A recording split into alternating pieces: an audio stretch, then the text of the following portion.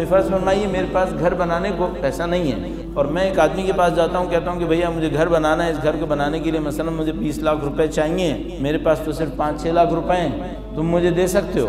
और वो मुझसे कहे कि, मिसाल के तौर पर मेरे जैसा आदमी है, थोड़े से ज़्यादा उसके पास पैसे हैं, वो कहे कि, देखो, ऐसा है कि तुम शुरू करो, मैं भी कुछ ना कुछ शिरकत कर लूँगा। तो मेरी हिम्मत थोड़ी सी बंदेगी हाँ भाई, कुछ ना कुछ इसने जुमला बहुत एहतियात से कहा है। कुछ ना कुछ मैं भी शिरकत कर लूँगा। तो ये है कि इसका मतलब ये है कि लाख, दो लाख तो कर ही लेगा। सही है? अच्छा अब अगर ऐसा हुआ कि 20 लाख का घर था, पाँच लाख में बनना था और मैं एक ऐसे आदमी के पास गया जिसके बारे में मुझे पता है कि 20-25 करोड़ तो इसके पास है। मैं उसके पास गया, मैंने कहा, भाई, ये मेरा घर बनना है और तुम मेरी मदद कर दो। और उसने मुझसे कहा कि, तुम घर शुरू करो, हम संभालेंगे। हम संभाल लेंगे। अच्छा अब आपका इतमान बढ़ेगा या नहीं बढ़ेगा? बढ़ेगा ना आपका इतमान कि भाई ये संभाल लेगा। अच्छा अब एक और फ़िक्र करते हैं, वो जो साहब हैं जिनके पास आप गए, जिनके पास 25 करोड़ रुपए मिसाल के तौर पर हैं, उनकी अपनी कंपनी बहुत बड़ी बड़ी बिल्डिंग्स बनाती है। आप उनके पास गए, कहा, मैं घर बनाने वाला हूँ, आप मुझे थोड़ा सा मेरी मदद कर देंगे। और वो कहेंगे, भैया, ऐसा है, ये नक्शा इधर दो और अब भूल जाओ, अब मैं तुम्हारे साथ हूँ। इत्मीनान बढ़ा या नहीं बढ़ा? बढ़ गया ना। अगर खुदा कह दे, मैं तेरे साथ हूँ, फिर? इतमान बढ़ रहा है। अगर कहीं पर खुदा कह दे, ये कर लो, मैं तुम्हारे साथ अब इतमान है या नहीं है? भाई, अब बचा क्या है? ना दुनिया का कोई मामला कि दुनिया इसकी बनाई बनाई ना आखरत की कोई फ़िक्र है, आखरत भी इसी के सामने है। यही हाकिम है, यही मालिक है, यही मुश्किल देता है, यही आसानी देता है। सब कुछ यही करता है। अगर वो कह दे, मैं तुम्हारे साथ हूँ, फिर कोई मसला है? नहीं। क्या कुरान करीम में कोई जगह ऐसी है जहाँ पे खुदा ने ये कहा कि ये कर लो, मैं तुम्हारे साथ हूँ? हाँ जी, है। वो कौन सी जगह है? खुदा ने मुताल पूरी ताकीद और इसरार के साथ फरमाता है इन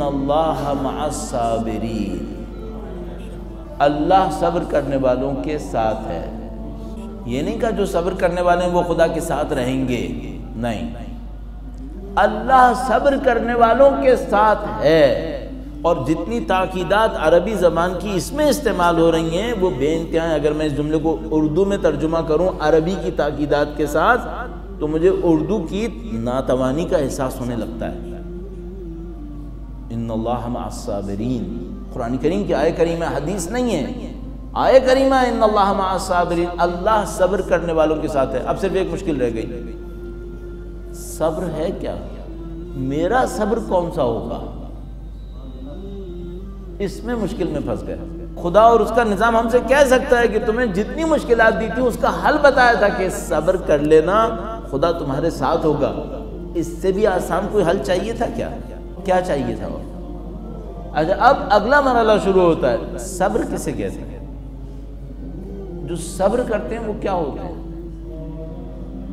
हम सब लोग ये नजरियाती बातें कर रहे हैं। ज़ाहिर है, अमल की दुनिया कुछ और होती है। कहना आसान होता है, करना सख्त होता है। सब्र किसे कहते हैं? एक मिसाल आपकी खिदमत में अर्ज़ करने की कोशिश करूँगा। किसी ने किसी से पूछा कि भाई, सब्र किसे कहते हैं? दुनिया में कोई साबिर मिला तुम्हें? क्या लगा हाँ। एक साबिर देखा। उसने कहा, दुनिया में कोई साबिर मिला? उसने कहा एक साबिर देखा।